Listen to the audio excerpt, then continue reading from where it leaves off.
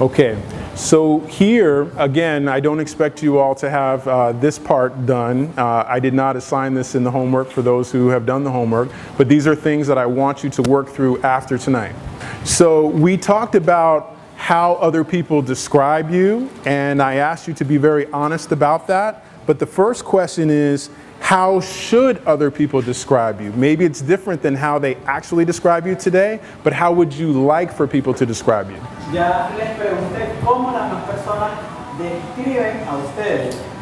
And then we have to ask ourselves those things that we want to be known for uh, are those things that create a competitive advantage for us. There are so many people working in the field, people who do very similar things to us. What are the things that are unique to us or make us different than the next person? So we always want to come back to those goals that we identified in the very first question. We want to make sure that everything that we're working towards is helping us achieve those goals that we have set for ourselves. Okay, so let's go to the next slide and the, the big one. Okay, so here we're talking about content and the importance of content. Um, I just want to ask if, uh, if people can give a couple of examples of what they think of when they think of content. A portfolio, yes, that's a type of content, and that particular type of content would show the work that you have done in the past. Can someone give another example?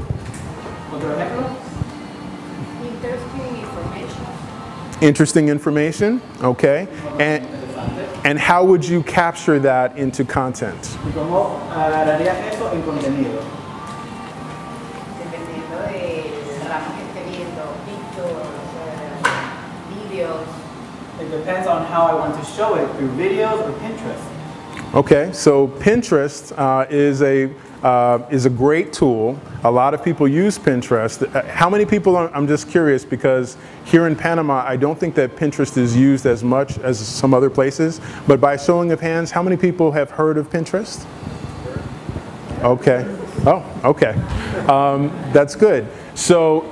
Uh, in the United States, Pinterest is known as a platform uh, for reaching women uh, between a certain age group.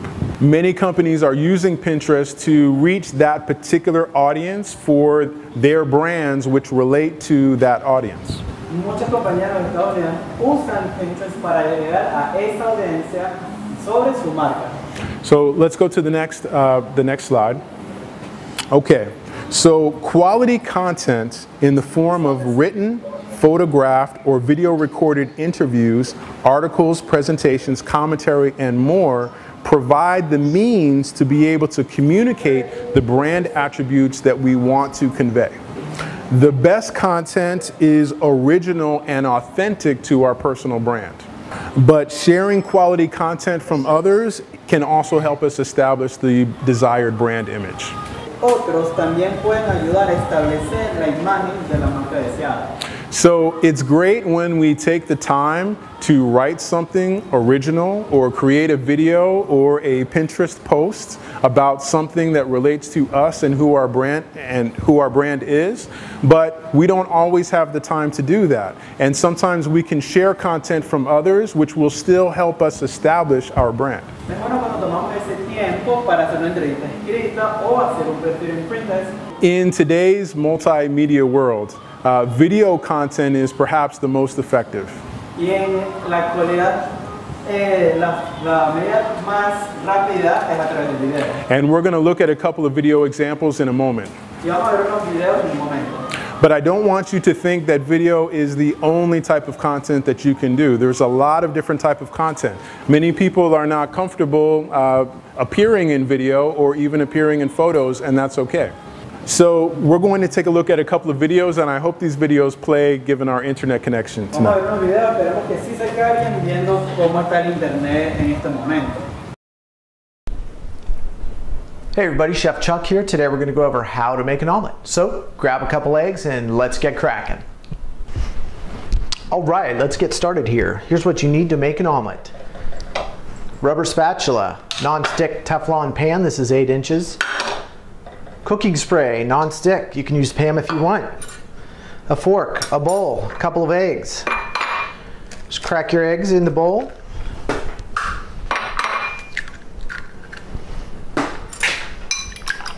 And we're just going to beat them a little. Okay, as you can see, we have our pan over medium heat, our non-stick pan. I'm to spray a little non-stick spray in there. Place the eggs in.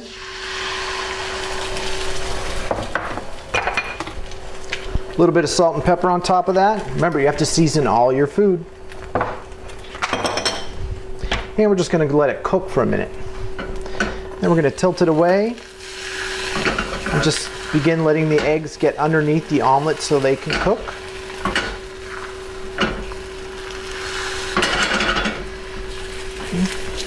Go around the edge a little. All right, now we're gonna plate the omelet. All you have to do is grab the pan, pull your plate over. If you want a little bit of cheese, just throw it in there and then flap it over. All right, that cheese is gonna melt in around 30 seconds and you're gonna have a delicious omelet. I wanna thank everybody for watching today. Don't forget if there's a demonstration that you'd like to see, just hit me up at chazcooks at verizon.net. Thanks again for watching and we'll see you again real soon. Okay, um, so what did you guys think about that video? What is your impression? ¿Qué pensaron del video? ¿Cuál es impresión del video? Casero. Casero. Un video casero. Low budget. It was homemade. Low budget, okay, okay. Homemade, any other thoughts or opinions? tema es un tema evidente. La tema del video es un tema evidente. Cualquier persona sabe hacer un omelette. It's a very easy topic. Everybody knows how to make an omelet. Okay, so super simple, right? As you pointed out, they did not spend a lot of money to make this video, and that's okay. Good content does not necessarily have to cost a lot of money. It looks like they took their camera, they put it over, maybe found a shelf or something over the counter to put the camera on top of, and they began to demonstrate something simple as how to make an omelet.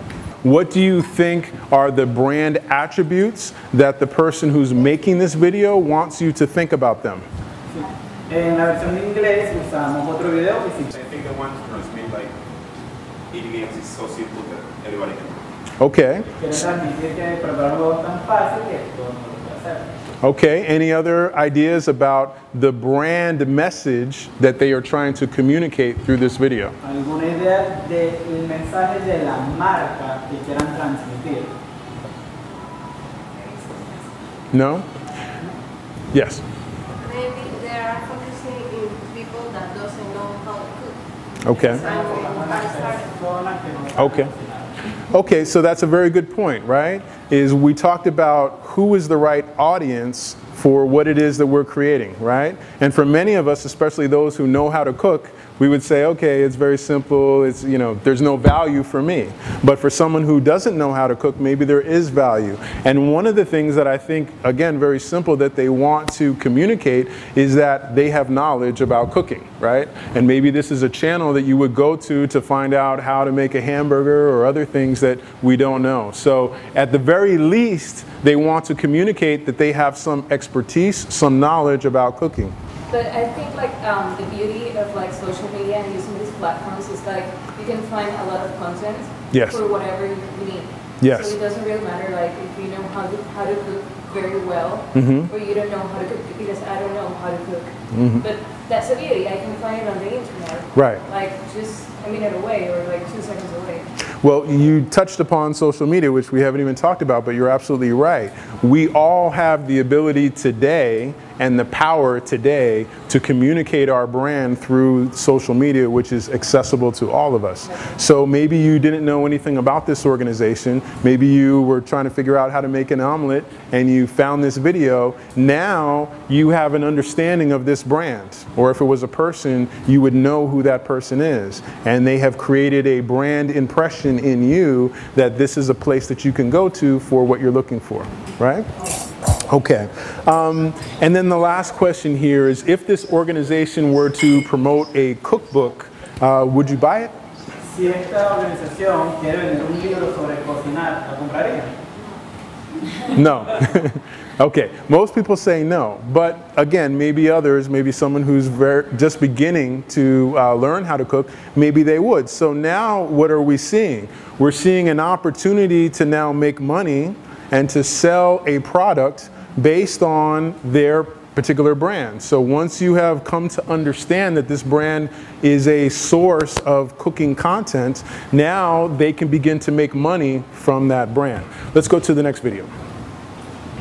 Hello everybody! Firstly, I'd just quite like to ask how you are because I feel like you guys are always asking me how I am and I would actually quite like to know how you are. So tell me one exciting thing you've done this week and on a scale of 1 to 10, how good is your mood? I just want to know. I wanted to do something a little bit different this week. So you guys absolutely love when I do my kind of makeup tutorials. I really hate calling them that because let's face it, I'm not the best. But I'll give it my best shot. And they do always say that taking part is the part that matters. What do they say? That's not what they say. It's the taking part that matters, right? So although I am not a makeup genius, I do love doing these for you and you guys really like watching them so I of course want to make more and um, I also really like to ramble as you guys know so I thought I would do something a little bit different kind of like a show and tell if you will. So I have done this makeup look and I just wanted to kind of run you through the products uh, as I show you how I did it instead of me kind of rambling as I'm trying to do it, which let's be honest, sometimes is a little bit of a mess. So the makeup look I'm gonna be chatting you through today is this one, which I'm just gonna call Pinky. Pinky.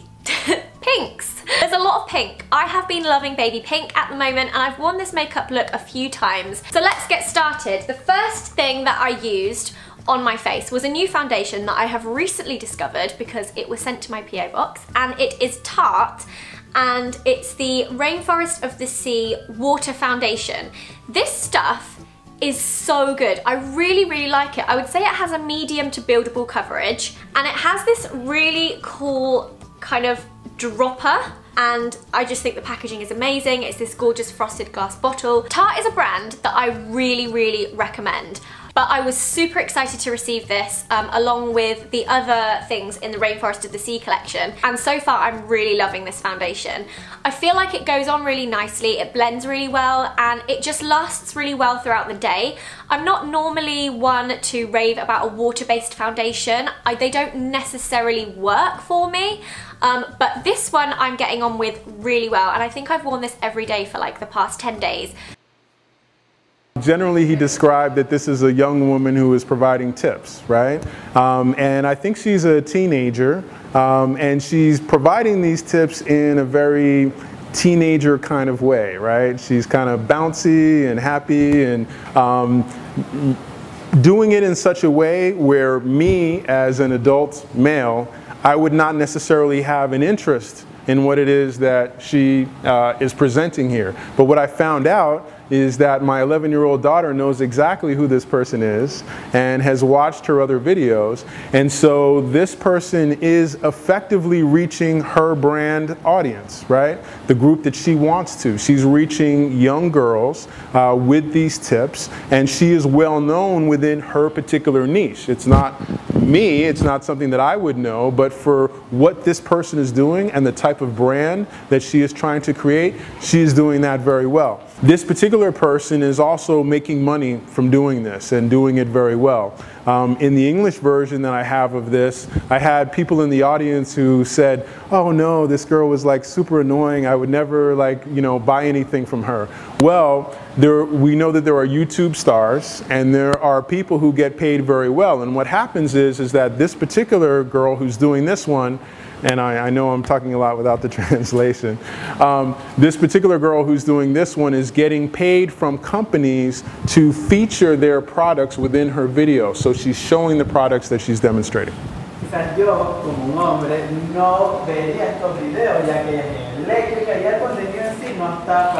Some of these YouTube stars are making millions of dollars from doing this. Um, and so even, it doesn't matter if I like it or if I don't like it, if it's reaching the right audience and you're doing it the right way, you can make very good money from it.